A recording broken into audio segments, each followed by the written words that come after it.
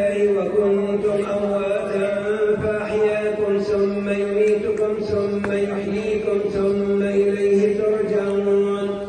هو الذي خلق لكم ما في الأرض